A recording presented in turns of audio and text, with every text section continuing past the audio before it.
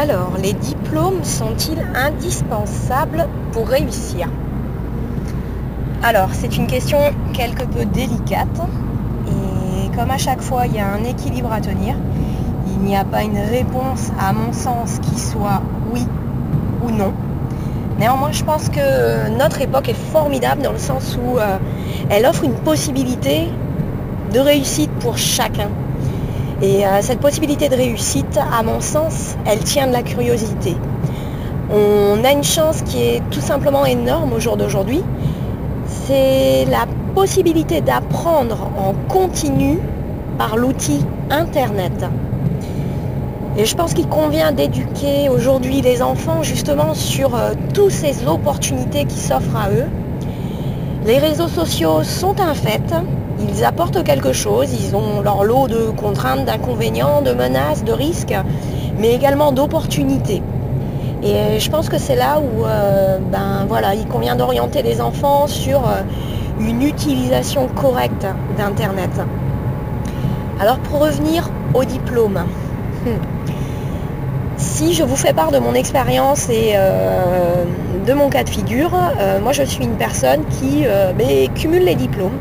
Donc euh, deux bacs plus 6, un premier en, management de la qualité, sécurité et environnement. Après ça, euh, du business avec des écoles euh, supérieures de commerce. Et des fondamentaux qui seraient plutôt de la biochimie, biologie. Et puis un capet de biochimie, une agrégation de biochimie. Bon, ça fait beaucoup. En quoi ces diplômes m'ont aidé?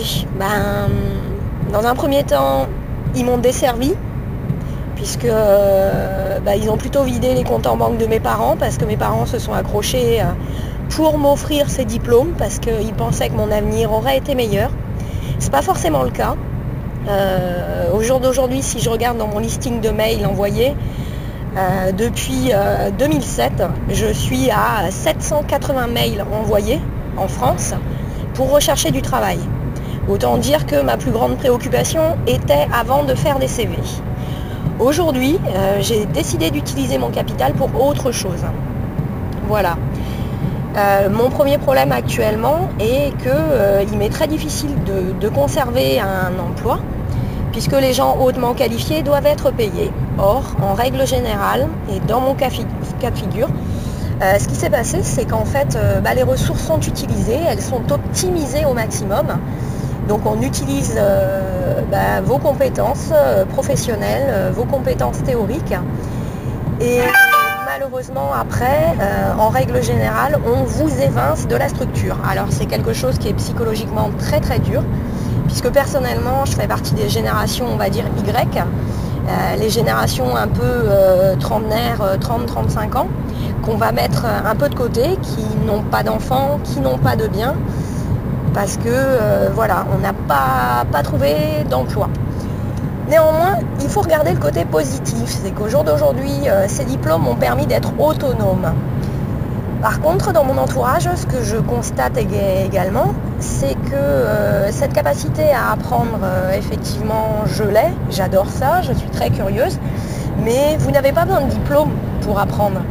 Et aujourd'hui, je reste convaincue que la force de l'esprit, est capable d'amener énormément de choses. En ce sens, je pense que les diplômes, non, ne sont plus nécessaires. Et il convient de faire la part des choses entre le coût d'une formation, ce qu'elle va vous coûter, ce qu'elle vous apportera. Et je reste convaincue que vous pouvez concrétiser des projets sans même passer par des diplômes. Justement en vous organisant de façon à avoir votre travail la journée et d'y passer et consacrer un petit peu de temps le soir à rechercher l'information. Rechercher l'information, c'est être capable bah, de définir le plan d'action de votre projet personnel, ce à quoi vous voulez arriver, de vous mettre des jalons qui soient complets et réalisables. Voilà, donc il faut être, comment je vais dire, crédible dans ces projets. Ne vous mettez pas un jalon de réussite dans les trois mois à venir, non. Ça peut être déployé sur un an. Et jouer la transition de l'autonomie L'autonomie par la formation amène énormément de choses. Voilà. Et vous permet de euh, bah, conserver votre petite enveloppe financière dans votre poche sans la dépenser. Voilà. Et prendre moins de risques. Si je vous prends mon cas de figure, euh, moi j'ai investi personnellement dans mes formations. Donc c'est très à la mode, il n'y a plus de travail. Euh, si on regarde actuellement le, programme pédagogique, et je sais de quoi je parle puisque j'ai passé euh, le CAPET et l'agrégation de biochimie, moi je n'ai pas continué dans l'enseignement et ce trois ans après. Pourquoi? Car tout simplement je trouvais qu'il y a un grand décalage entre les besoins réels et le programme de formation des enfants. Donc euh, tout n'est pas à prendre au négatif puisque c'est quand même du savoir capitalisé et ce savoir, vous pouvez le retransférer dans d'autres euh, projets ou d'autres stratégies. Mais voilà, rien n'est perdu. Alors ce que j'ai envie de dire aux, jeunes générations aujourd'hui, c'est gardez vos rêves, gardez vos rêves, gardez vos rêves, gardez vos rêves.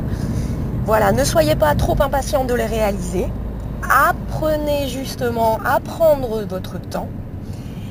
Et tout vient à point à ceux qui savent attendre. Voilà, moi j'en reste convaincue. Ne baissez jamais les bras. Et un autre point que j'aimerais évoquer euh, sont les catégories sociales. Dans le temps, quand on regardait un peu euh, les CSP, les catégories socio-professionnelles, on s'apercevait que souvent, les enfants qui faisaient des études étaient euh, les enfants euh, de catégorie euh, socio-professionnelle, on va dire aisée, avec des parents qualifiés ou hyper qualifiés. Alors au jour d'aujourd'hui, à mon sens, ce n'est plus vrai du tout. Et bien au contraire, je vais même plutôt dire que les enfants qui sont éduqués dans des catégories socio-professionnelles, salariés ou ouvriers, sont des enfants qui développent bien plus de hargne et bien plus d'envie de réussir. Voilà. À ça, il faut faire attention. Ne touchez pas la frustration. Car la frustration, à mon sens, ralentit euh, ben, le déroulement et la concrétisation de vos rêves. Donc je pense qu'il faut voir les choses simplement et prendre la patience d'apprendre et savoir également s'entourer parfois, s'entourer de l'expérience de gens, s'en nourrir surtout et être capable euh, de voir euh, les forces et faiblesses, voir les opportunités de certains projets réalisés. Je devais rajouter quelque chose, euh, je vous donnerais peut-être un petit conseil personnel. Bien sûr, tout ce que je dis est à prendre ou à laisser. Je vous fais juste part de, mon expérience et de mon recul sur la matière. Mais euh, je pense qu'effectivement, euh, servez-vous des expériences des autres, mais ne perdez jamais dans votre petite tête que c'est pas parce que personne n'a réussi dans votre domaine que vous n'y arriverez pas. Au contraire, je pense que chaque projet se réalise avec un jeu un jeu de paramètres qui sont extérieurs. Et dans les paramètres extérieurs, parfois on a le paramètre chance. Vous êtes là au bon moment et au moment où vous lancez votre projet, il y a un réel besoin. Parfois même, certaines personnes vont anticiper la création du besoin. C'est-à-dire que parfois, vous avez un projet que vous allez présenter à des gens. Les gens même ignorent qu'ils ont ce besoin. Et là où stratégiquement vous serez très bon, c'est quand vous êtes capable euh, de mettre en place un produit et un service et d'anticiper la demande du besoin tout en démontrant euh, à votre cible, c'est-à-dire votre client ou autre, que euh, vous êtes capable de lui apporter de nombreux avantages. Sur les diplômes, donc voilà, je ne vais pas vous dire fermez, fermez vos, ouvrages, allez sur internet, non, c'est pas ça que je dis. Les études sont importantes. Les études sont en fait importantes pourquoi? Parce qu'elles vont vous donner la clé de votre autonomie. Une autonomie euh, qui est à mon sens très très large. On est tous différents. Et euh, dans nos besoins de réalisation, on est complètement différents. Par exemple, au jour d'aujourd'hui, euh, moi personnellement, j'ai un grand besoin d'autonomie, on va dire, relative au temps.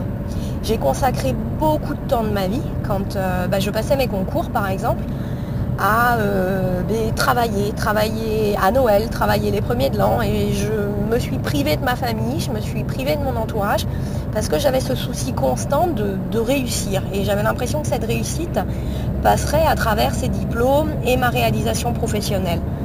Donc la déception a été grande quand je me suis aperçue euh, que ben, je me suis fatiguée énormément, j'ai travaillé beaucoup euh, j'ai fait des déplacements à l'international, je suis restée dormir dans des hôtels. Euh, en attendant, ma vie a filé, elle est passée. Aujourd'hui, je n'ai pas d'enfant.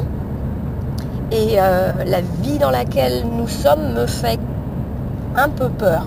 Donc je me pose la question de savoir, voilà, est-ce que je me complique les choses? Est-ce que c'est rendre service potentiellement à un enfant que de ne pas en avoir? Bref, ça c'est un sujet à part que je traiterai. Mais néanmoins, si j'ai envie de vous dire quelque chose, c'est penser l'avenir. Pensez l'avenir et construisez votre avenir. Construisez-le intelligemment. Et pensez génération future également. Le futur, ce sont nos générations futures, ce sont nos enfants. Donc j'ai envie de dire aux enfants au jour d'aujourd'hui, c'est pas parce que vous performez pas au niveau de vos notes que vous serez des enfants qu'on mettra de côté. Bien au contraire. Il existe des enfants qui ne sont pas forcément des foudres de guerre à l'école et qui pourtant excellent et sont capables d'apporter énormément à la communauté plus tard. Donc réalisez vos rêves, croyez en vous, mesurez le risque et mesurez les opportunités. Et j'ai juste envie de vous dire, éclatez-vous. On apprend tous les jours de la vie. Voilà, je vous souhaite une bonne continuation dans vos rêves et ne perdez jamais, jamais confiance en vous. Moi en tout cas, je crois en vous.